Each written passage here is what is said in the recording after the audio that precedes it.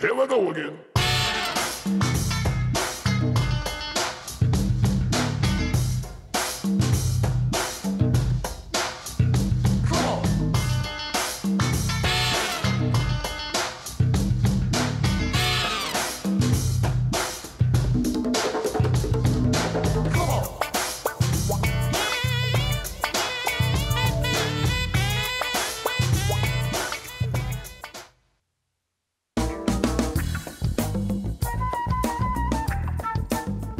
Ever wanted to buy something but not actually had the money?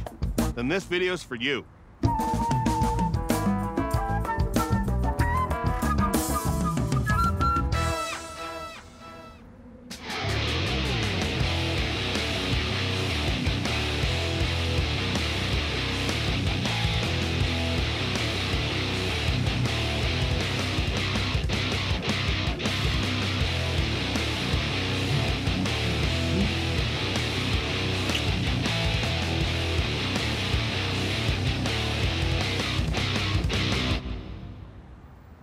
You can have it today. Huh? Yours. Today. Sold. What? Shall I start the paperwork? So will I actually own it? Not for 156 weeks. But tomorrow, when you're laying on it, it'll feel like you own it. Awesome. Often, rent or lease to own furniture and appliance stores market to people with low income. With no money down and no credit checks, these stores make it easy for people with limited money to buy things they wouldn't otherwise be able to afford. No money down, eh? That is my specialty. Is it new?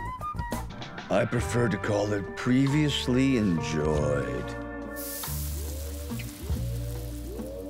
So how much for this hog? $12 a week and a one-time processing fee. Hmm. So no money down, no credit check, low weekly payment, and I can have it today? I've got a good feeling about this. The convenience and initial reward of walking out of a store with a large item can come at a high cost. Even though the weekly payment may seem low when you're just talking about it in the store, you may not feel the same way 156 weeks later.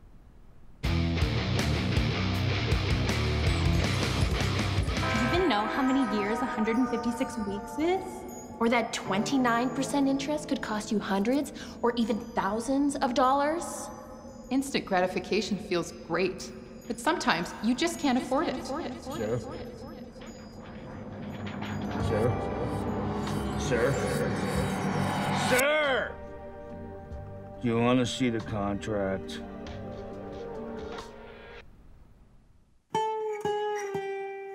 This is our standard lease to own contract.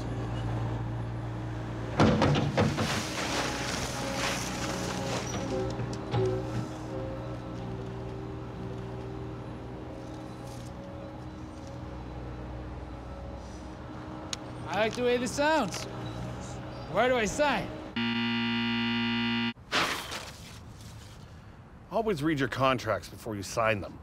All the details of your lease to own agreement will be in there, including penalties for late payments and the return policy.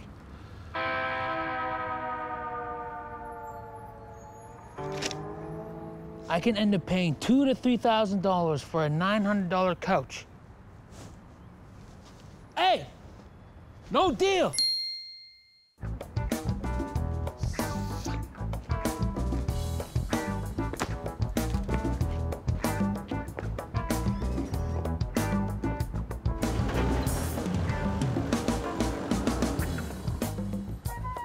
If you really want to make a large household purchase and don't have the money, consider if you really need the item.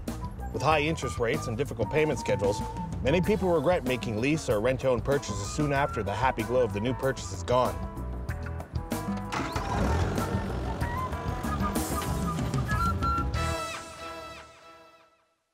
Here we go again.